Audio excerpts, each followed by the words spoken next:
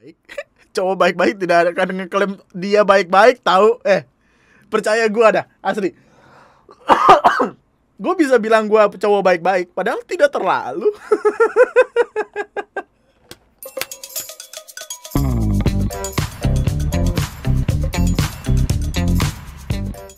Selalu lucu tahu untuk ngelihat orang yang eh, bukan siapa-siapa kemudian punya nama kemudian kaget star syndrome lah sederhananya.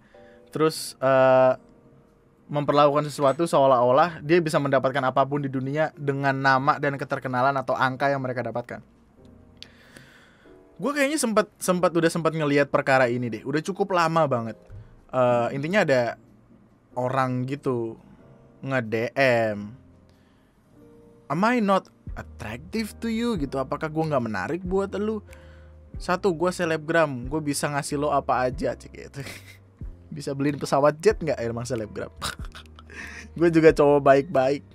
Lo bisa makin dikenal orang kalau pacaran sama gue lo juga bakal gue masukin ke YouTube gue gue pengen tahu ini siapa dah.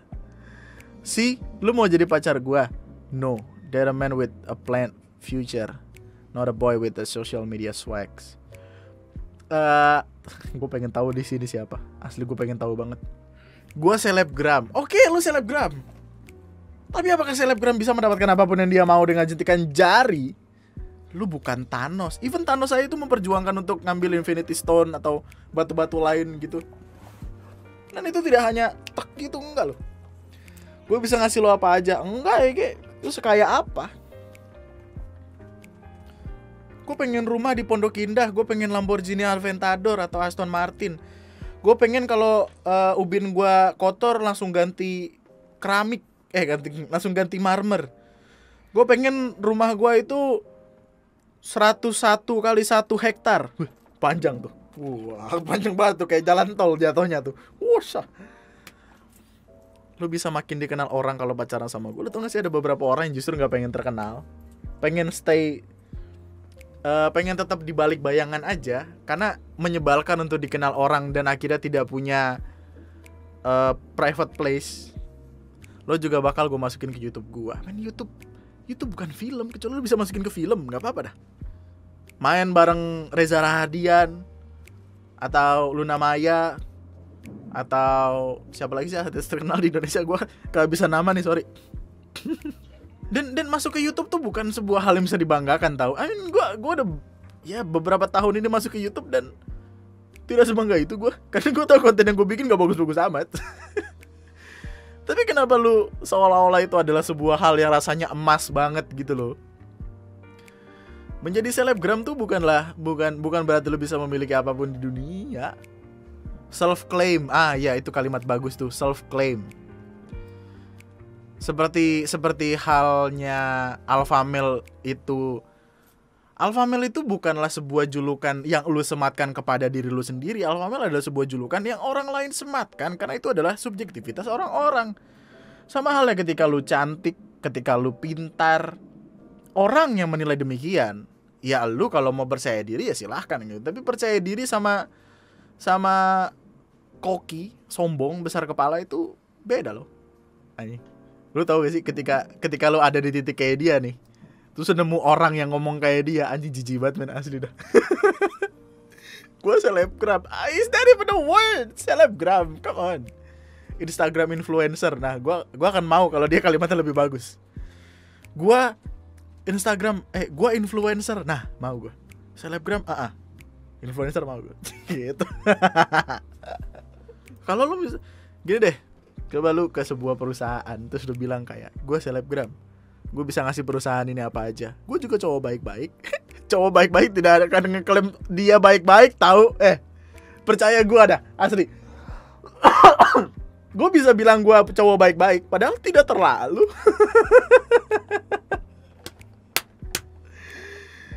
Tidak ada orang baik yang mengakui dirinya baik gitu. Baik adalah penilaian orang lain.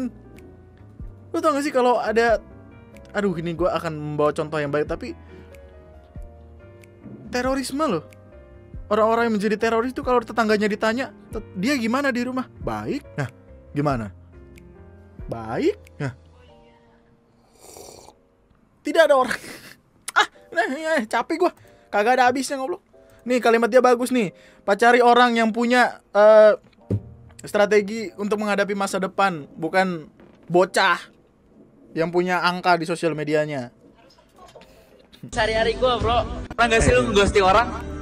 taruh taruh taruh. Pernah nggak sih lu ngeghosting orang? Pernah gak sih lu ngeghosting orang? Ya elah, itu mau udah makan sehari-hari gue bro. Respect.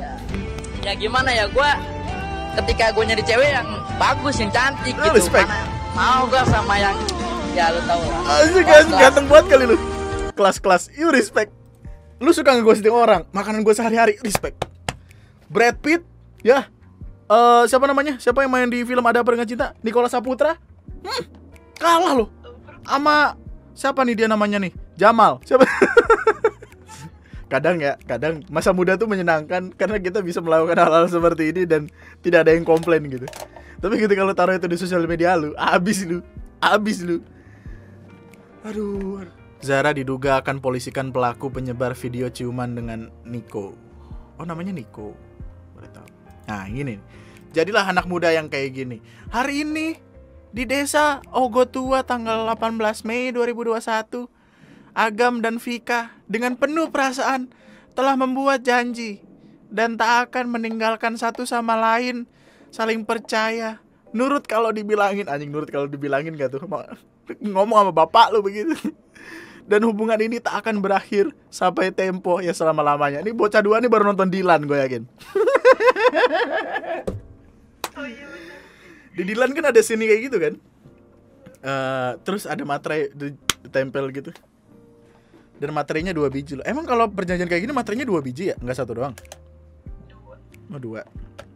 Dan ya mereka punya ide, maksudnya mereka mereka paham konteks hukum yang berlaku. Eh kalau misalkan mereka putus gimana? Kalau misalkan si cowoknya selingkuh, si Vika akan mendatangi cowok itu. Kamu lihat apa yang akan aku lakukan ya? Kamu udah nyakitin aku. Vika akan lari ke kantor kepolisian. Bapak polisi lihat, Bapak polisi. Perjanjian ini kami buat 18 Mei 2021 tapi dia selingkuh bapak polisi penjarakan sama bapak polisi apaan sih lu goblok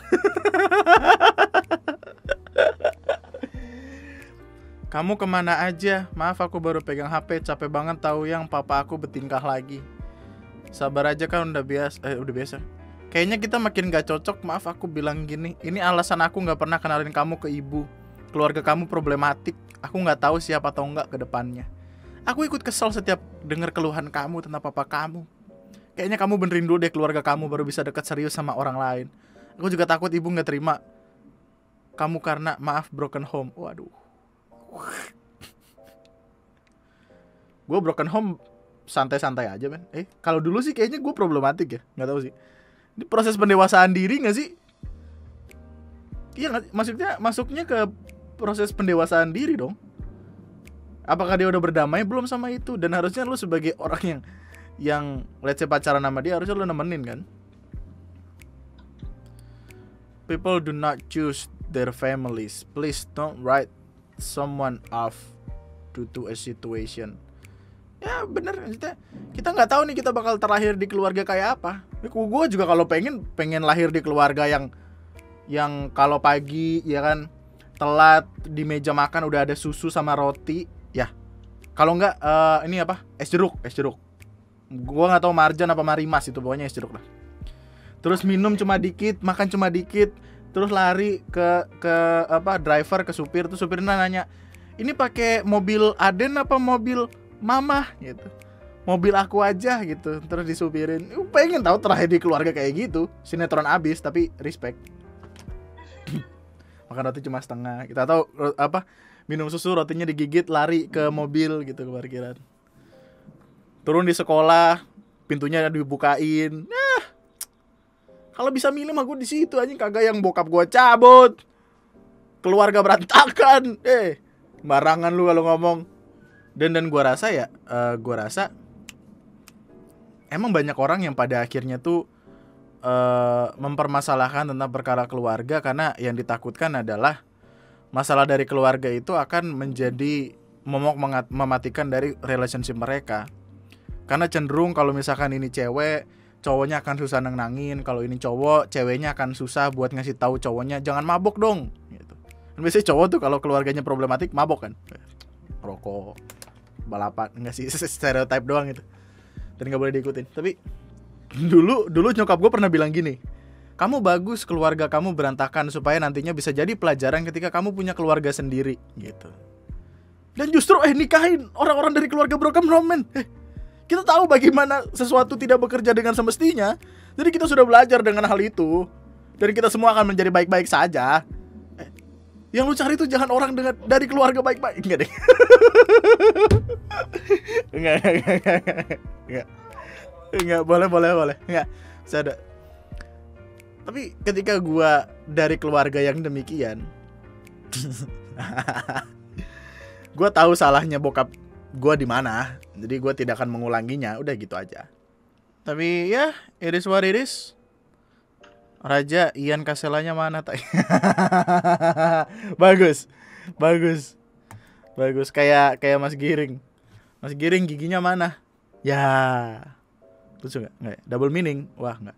Yuk, jadi gua rasa itu aja dulu untuk Twitter My Love. Seri Twitter My Love nanti akan gue kasih kayak Twitter My Love 1, 2, 3 gitu. itu dulu untuk beberapa video yang sudah gua rekam dan gua jadikan Selanjutnya kita akan melihat-lihat apa-apa yang di Twitter. Eh, semoga bulan Agustus ini tidak banyak perkara, tapi ya kalau banyak ya nggak apa-apa lah. Eh, jaga kesehatan, hidup yang normal-normal aja. Punya keluarga broken home nggak apa-apa kok. Eh, buat yang belum follow, follow dulu silahkan. Eh, buat yang belum subscribe, subscribe dulu silahkan. Nyalakan tombol lonceng notifikasi supaya lo bisa dapetin update dari video-video baru ya nantinya akan gue publish. Lo boleh juga buat join di membership karena gue yakin dari sekian banyak omongan di video ini ada beberapanya yang akan masuk ke video membership. I don't know. Tapi itu aja. Eh like videonya kalau suka, dislike aja kalau nggak suka nggak apa-apa. Sampai jumpa di video gue selanjutnya. Tetaplah bahagia, tetaplah baik-baik saja. Twitter adalah sebuah platform yang menyenangkan meskipun banyak perdebatan.